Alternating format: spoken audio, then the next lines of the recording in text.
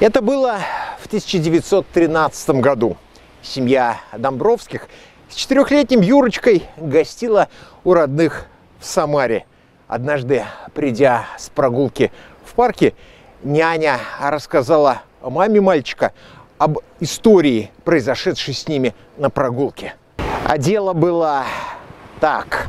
Одной семейной паре очень понравился вязаный беретик с помпоном на голове Юрочки.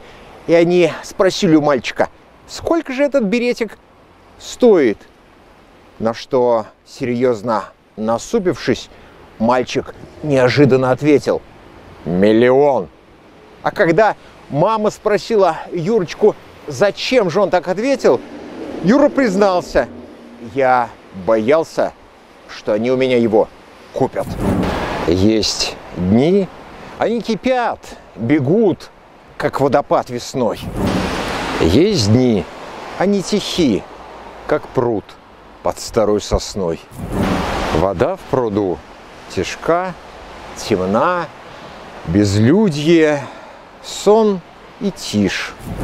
Лишь желтой ряски пелена, да сказочный камыш. В самом конце 1918 года семья Домбровских перебралась из Москвы в Самару, где жили родители Лидии Алексеевны, урожденной Крайневой. Окончив высшие женские курсы в Москве, она стала женой известного в будущем адвоката, которому теперь нужно было прятаться от большевиков. В Самаре Иосиф Домбровский, разумеется, скрывший, что еще совсем недавно он был членом партии эсеров, получил должность председателя облкооперации. Тесть и теща беглеца и его домочадцев, разумеется, потеснились, приютив их у себя. Но стремительно нараставшее безденежье давало о себе знать недомолвки, упреки, а потом на семью свалилась и другая беда, гораздо более страшная. Да, беда не заставила себя ждать. У Иосифа Домбровского обнаружили рак горла. И 17 марта 1920 года он скончался и был похоронен на Самарском еврейском кладбище. А всего через несколько дней его жена отправила в Москву фотографическую карточку с написанными на обратной стороне строчками из Лермонтова. «Меня могила не страшит. В ней, говорят, страдание спит в холодной, мрачной тишине. Но с жизнью жаль расстаться мне. После смерти отца и мужа положение вчерашних москвичей продолжало усугубляться. Средств на жизнь не было, никаких перспектив тоже. Поэтому, получив в это время спасительную весточку из Москвы, что для них забронирована квартира в национализированном доходном доме, Лидия Алексеевна с радостью ухватилась за нее и быстро, собрав пожитки, укатилась с детьми в Москву. В 1920 году будущему писателю Юрию Домбровскому было 11 лет. Он родился в мае 1909 Пройдут годы, и он вспомнит эти полтора года в Самаре, на Волге. Вспомнит и расскажет о них в своих произведениях. Об одном из них мы тоже расскажем вам, но чуть позже. В главной как бы диалоге Домбровского Самара присутствует и в той, и в другой книге. Ну и вот относительно недавно стало, появился, как бы оформился а, последний э, на данный момент э, роман Домбровского «Рождение мыши», роман в новеллах и рассказах. Это очень интересный роман, где описывается история первой любви. История первой любви э, как можно понять самого Домбровского. И эта первая любовь с ним произошла на самарских дачах а, которые располагались, насколько можно понять, где-то вот в районе э, Московского шоссе, а, ну вот э, от э, парка Гагарина до Новосадовой. Где-то вот в этих местах были дачи, там была дача Крайневых, там, кстати, и бабушка достаточно подробно описывается, и дедушка, и дядя, то есть вот вся эта семья. На старую дачу, на ней еще висела жестянка общества «Саламандра», приехала новая дачница. Мы, ребята, увидели ее вечером, когда она выходила из купальни. За ней бежала маленькая, черная, злая собачонка с выпученными глазами. А в руках у дачницы был розовый зонтик от солнца с ручкой из мутного янтаря. Проходя мимо нас, дачница улыбнулась и сказала «Здравствуйте, ребята». Мы смятенно промолчали. Тогда дачница дотронулась до зонтика, и он вспорхнул над нею, как розовая птица. Я ахнул, собачка залаяла, но дачница сказал ей «Фу, Альма!». Тогда собачка замолчала, и так они и ушли. Хозяйка была голубоглаза, белокура и прекрасна. А собачонка безобразна, как жаба. Случилось это в 1925 году, примерно в 10 верстах от Самары в Большом Яблоневом саду возле пруда, где стояла неизвестно кем и когда сбитая из еловых досок серо-серебристая купальня – над этим местом всегда кричали птицы и носились большие черно-синие стрекозы с огромными шарами глаз и клеенчатыми желтыми крыльями. А какие в этих прудах водились лягушки, сделанные из совершенно новенького зеленого целлюлоида. Каких мы здесь ловили ящериц. Мы – это двое парней и двое девчонок, которые приходились нам двоюродными сестрами и учились на класс выше. Мы любили это место, которое называлось по-разному. Дубки, Головановские сады, Нагелевский лес, дача 12 года в память о победе над Наполеоном. В зависимости от того, о каком уголке этого милого края шла речь.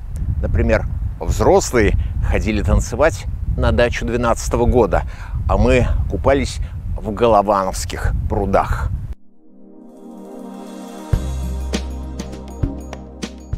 Вообще, все в этом яблоневом саду возникало за зиму как бы само и неизвестно откуда. Даже происхождение сада и то терялось где-то в незапамятной давности. Просто не то лет 50, не то лет 70 назад приехали сюда откуда-то люди, вскопали, очевидно, вручную лопатами желтоватую суглинистую землю, изрезали сепь участками точно ровно по веревочке, настроили лубяные домики с узорчатыми водостоками из листового железа, смешными петушками и тефлюшками. А когда все это сделали, то насадили этот чудесный яблоневый сад. Так он и возникал среди колючей степи, как неожиданная прихоть природы, маленькое прекрасное чудо ее. Идешь по степи, все пыль да пыль, и вдруг ты поднялся на холм, и сразу же перед тобой розовое облако, яблони, вишни, груши и еще какие-то деревья и кусты со сладким ванильным запахом.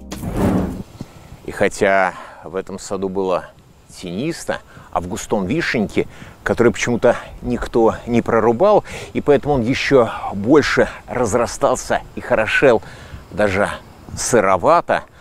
Жара здесь стояла сухая, степная, изматывающая. Поэтому большую часть времени мы проводили возле пруда. Но мы были не в купальне, нет. Купальню выстроили взрослые для каких-то не совсем понятных нам своих взрослых целей. Мы же возились на берегу под ветлами, возле обрыва, в глинистой пещере или на мазках, с которых было прекрасно прыгать в воду и показывать, где тебе с головой, а где с ручками.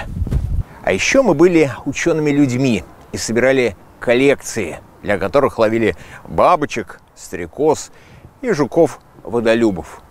У меня же было совершенно особое задание.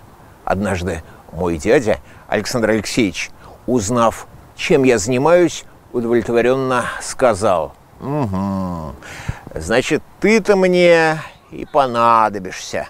И привез из города банку, наполненную формалином с притертой в пробкой. «Вот чем эту дрянь таскать, — сказал он мне, — принеси-ка мне гадюку». Я обомлел. Какую гадюку? Зачем? Она же ядовитая. Дурак, ответил дядя. Я поставлю эту гадюку на стол. Ядовитая змея красиво, понимаешь? Сделаю группу. Гадюка заглатывает лягушку. Все будут смотреть и восхищаться. В общем, принесешь, рубль получишь. Но о гадюке он скоро забыл, увлекшись дачницей. Каждый вечер мы видели, как они выходили из дачного домика, проходили через фигурные ворота и шли к Нагелевскому лесу. Собачку с собой не брали. Дядя шел упругой походкой, а она медленно поспевала за ним, откидывая назад голову. Проходя мимо нас, она неизменно улыбалась, махала нам рукой и задорно говорила «Здравствуйте, ребята!». Мы хором отвечали «Здрасте, Катерина Ивановна!». А когда они исчезали за воротами, Борька рыжий пел «Ты куда ее повел? Такую молодую!» факультет ненужных вещей, там есть приложение, то есть фрагменты, не вошедшие в сам роман. И вот в этом приложении очень интересные там есть фрагменты, касающиеся Самари. В том числе, например, истории о том, как во время Первой мировой войны здесь, в Самаре, из зверинца сбежал крокодил. И главный герой романа Зыбин, но, насколько я понимаю, альтер-эго а, в какой-то степени, конечно, то есть частично совпадает биография Зыбина с биографией самого Домбровского. Вот альтер-эго а, Домбровского а, находясь на берегу Волги, видит это, этого самого крокодила где-то там под толщей воды. Но взрослым она об этом не говорит, потому что взрослые все равно не поверили бы. Вот, то есть а, в главной как бы дилогии Домбровского Самара присутствует и в той, и в другой книге. В 1925 году, когда произошла та самая или очень похожая на нее любовная история на самарских дачах юному Юрию Домбровскому было 16 лет. Совсем недавно он жил в Самаре у бабушки и дедушки, а теперь приезжал сюда в гости почти каждое лето. Это здесь он увидел однажды сбежавшего из зоопарка крокодила. Здесь влюбился – и здесь ему было и грустно, и радостно в одно и то же время. А потом будут аресты и тюрьмы, будут рассказы и романы. Неоконченный Державин, факультет ненужных вещей, обезьяна приходит за своим черепом. А еще будет месть тех, кто привык думать, что человек рождается – чтобы жить в страхе. Но мы не будем жить в страхе. Мы будем читать книги Домбровского, и с каждой из них будем становиться свободнее. Да, ядовитые цветы для жаб и змей растут. Пока кипишь и рвешься ты, я молча жду, как пруд. С вами был Михаил Перепелкин.